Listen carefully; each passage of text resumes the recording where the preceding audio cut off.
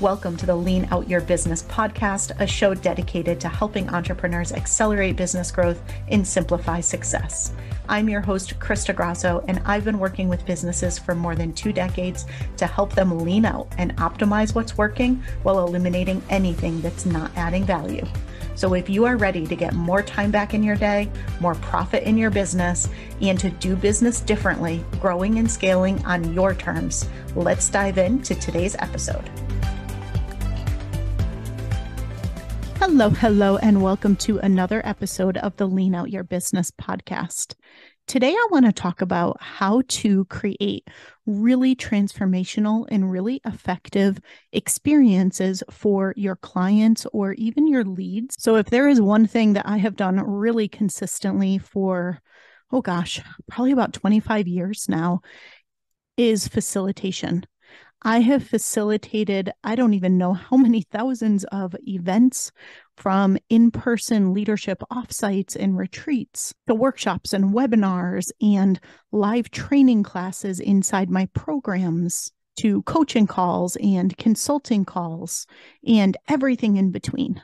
And no matter what it is that you're facilitating, no matter what it is that you're leading or what it is that you're hosting, there's this one thing that I do that I feel like makes such a big difference. And so I want to share that with you today because every time I share this with my clients and they start using it, it seems so simple and it seems so obvious, yet it makes a really big difference in their results. It makes a big difference in how confident they feel going into leading or hosting that experience for someone. And it allows those who are attending to really get out of it what they were hoping for and walk away with a lot of clarity and with some sort of win or some sort of result. It's a technique that I call playing psychic. And no, I'm not getting woo on you here. This is just what I call really pre playing how the experience is going to go. So, what I find so often is that most people are really rushed.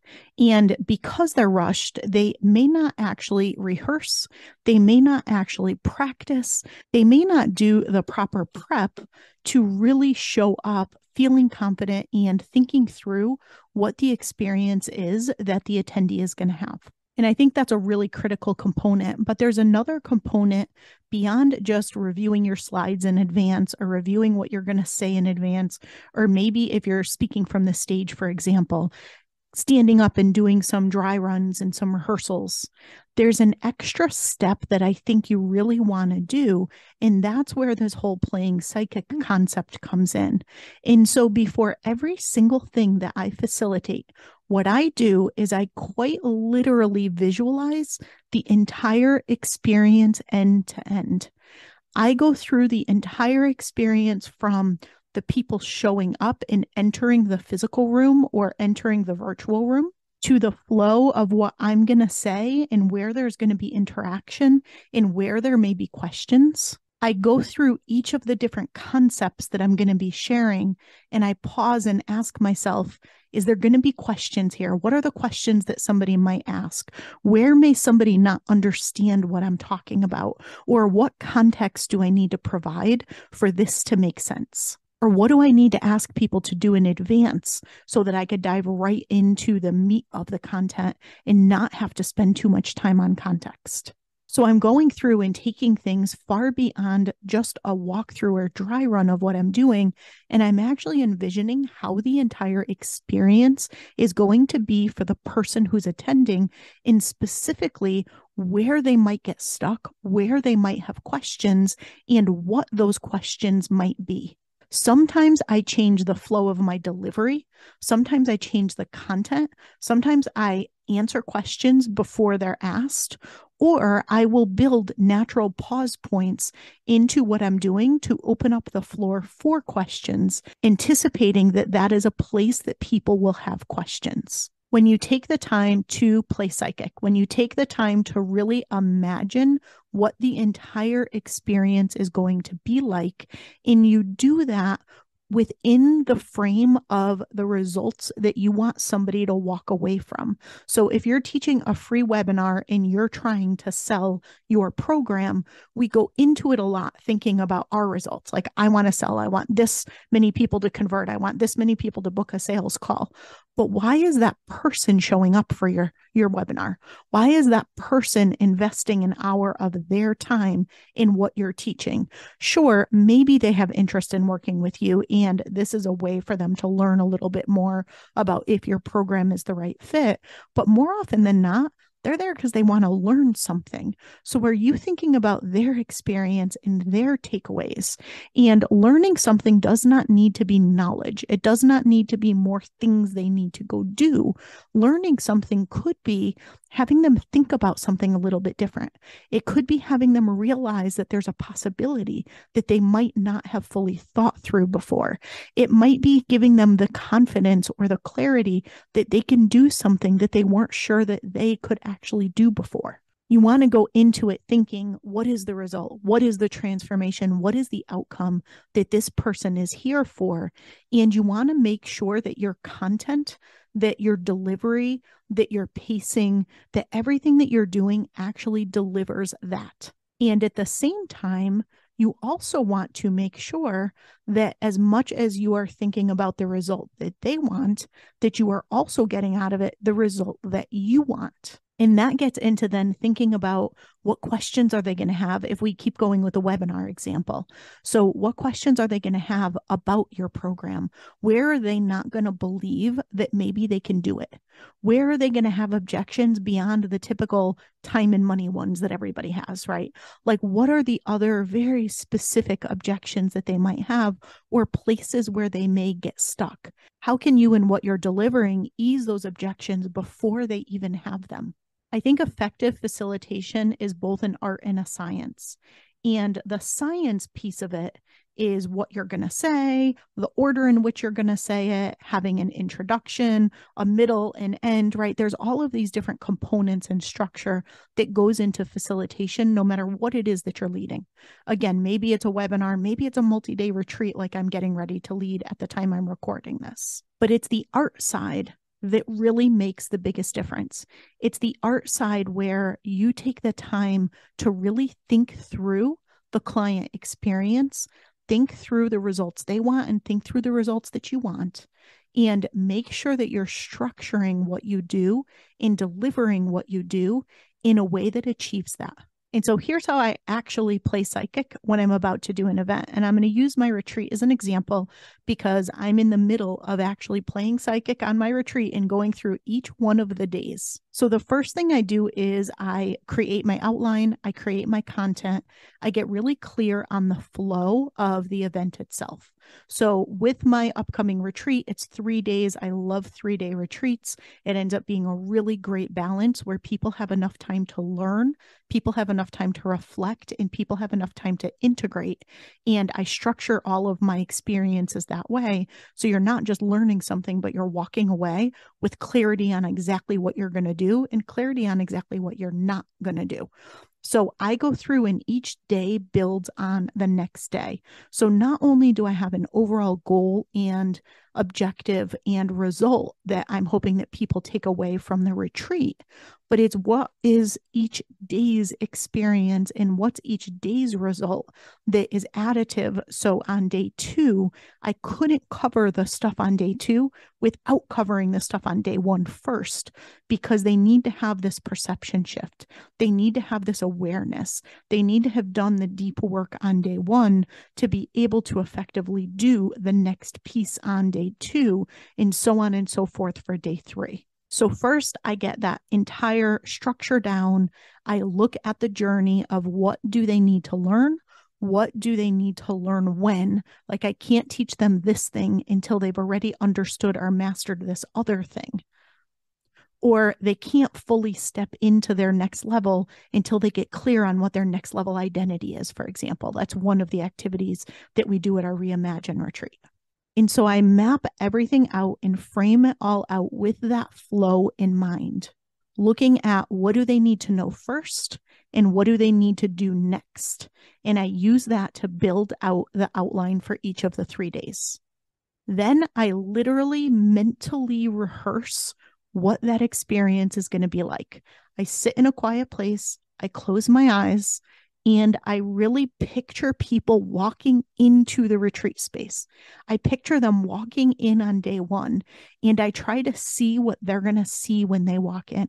It helps me design the space to be inviting. It helps me design the space in the experience so they start to have that transformation from the second they get there before I even start teaching or I start leading or I start facilitating anything. And so I'm always thinking about all senses, the entire experience. And so I envision people walking in. I envision what questions they're going to have, what they're going to be looking around for. I envision them finally getting seated and getting comfortable and us getting started and what they need to hear to start to settle in and feel comfortable with the others and feel comfortable sharing about themselves and about their business and feeling like they have the safe space that I try to create for them so that they can be vulnerable and they can really share what their biggest challenges are and what their biggest opportunities are in their business. And they feel comfortable opening up and supporting others with their amazing brilliance. So, how do you create that inviting atmosphere so somebody feels comfortable showing up that way from the beginning. And then I go through the agenda and what are we going to talk about first? And what questions are people going to have? And where might somebody have resistance about this topic? Or where might somebody have confusion or questions about this topic? And then, okay, after we do this, is this a space where I need to give people an opportunity to ask questions or do I roll right into the next topic? Okay, next topic. And I literally am going through and I'm seeing the room in my head as I'm looking around and seeing, okay, who's going to have questions? And sometimes I'm doing this without actual people in the room because I don't know who's going to be there yet. But it's like I'm envisioning this room of six to 12 amazing business owners and who's going to have what question and what's it going to look like and where might people get distracted or where might something not make sense or where might something feel too overwhelming and I'm framing through all of it and I'm going from activity to activity to activity and I'm looking at where should we take a break because I want to give people time to process or I want to give them time to start to connect with one another and build those relationships so again they start to get more and more comfortable so they can really have the conversations they need to take their business and themselves to the next level. And so I'm going through each one of those activities. And then as I get to the end of my day, as I'm doing my mental kind of playthrough here, I'm looking at did they walk away with what they need? Are they leaving feeling the way that I need them to feel, right? Are they feeling super overwhelmed and super anxious and super, oh my God, there's so much to do? Or are they feeling like, I got this? I got this. Like, I got this. There's clarity. I know what I need to do. I got this, right? And that's my goal. I always want people to leave feeling I got this. I know at my last retreat, people immediately went out and took action. We came back the next day and everyone's like, I did this and I sent this and I created this and I cut this and I did this. And they left feeling clear on what they needed to do. They left feeling like they had it and they went and actually did it, which was so impressive. And that to me is a sign that I've structured things in the right way when people leave with that feeling and able to take those actions. And so I do that for the first day, and then I do it for the second day, and then I do it for the third day, and then I do it end to end. And it takes time you it's not something that you can just hack together and last second you throw it together and you go and you try to present or you try to facilitate and it's the best experience ever. You're going to have those things and the more seasoned you are at doing that the more you can do something last minute and deliver that exceptional experience. But especially if you're doing something for the first time, if maybe you facilitate a ton of virtual experiences, but you don't facilitate a lot of in person experiences, or you're doing a brand new webinar or workshop, I think it's so incredibly valuable to do this mental walk through what I call playing psychic. To me, it makes you a better facilitator and it makes people more interested in signing up for what you do and in experiencing what you do because they walk away getting out of it what they need. You walk away getting out of it what you need. And as much as I know you might not agree with me here, but I personally love PowerPoint. I know so many people who hate PowerPoint and think that I'm crazy for loving PowerPoint, but I really love PowerPoint. Always have, always will. To me, it helps me tell that visual story when I'm facilitating and when I'm leading. So I am a slides person. I know a lot of people who are allergic to slides in PowerPoint and do not like it. I think you need to figure out what works for you. But whatever that is, whether it's something that you're sketching out in your Remarkable or your iPad, or whether it's something you're doing in a tool like PowerPoint or, you know, the Google version of that, whatever that ends up being for you, there's only so much you can really do with that without also doing the kind of mental rehearsal, the mental envisioning of what that experience is going to be like to really truly make sure that you're delivering the results that you want to be delivering and just creating a really exceptional and really memorable experience. I always get so many comments about my retreats, but not only is it about the fact that people walked away and they feel like they've taken themselves to the next level and they've taken their business to the next level and they're dreaming bigger and thinking bigger and have clarity in how they're going to actually make their vision reality and all of those things that I do with people at the retreats. But what they always comment on is the experience itself and how every single activity builds off of the prior activity and how the entire flow was put together in such a specific way. And again, because it's really brilliant business owners who are at these events, it's fully transparent what I'm doing, right? There's no magic behind the curtain. They can see exactly what I'm doing.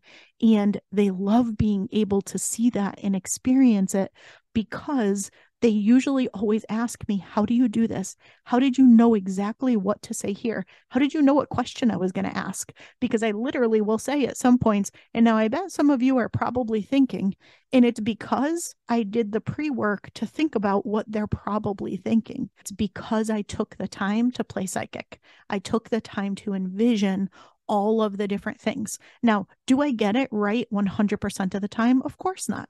Every now and then, someone asks me a question out of left field. Every now and then, something I thought was going to land, somebody, I can see the confused look on somebody's face and realize I need to quickly pivot, right? And so it's not like it's 100% foolproof, but I will tell you, it's pretty effective and it creates a far better experience than it does just winging it or than it does just reading your slides out loud beforehand and saying, I'm ready for this.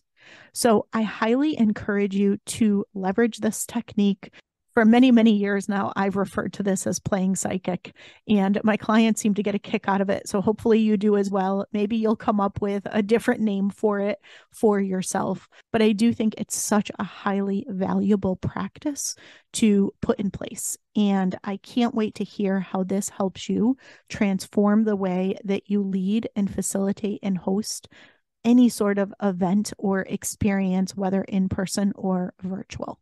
And if you would like to attend a retreat with me in person, I would absolutely love to spend three magical days together with you.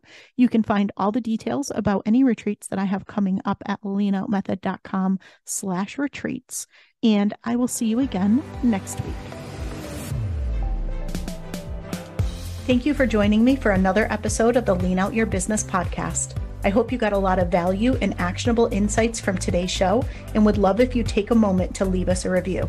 If you have any questions on today's episode or on how to lean out your business, join us over in our private Facebook community where every week we do live training and Q&A and I'd love to have you be part of the conversation. Head to leanoutmethod.com slash group to join us.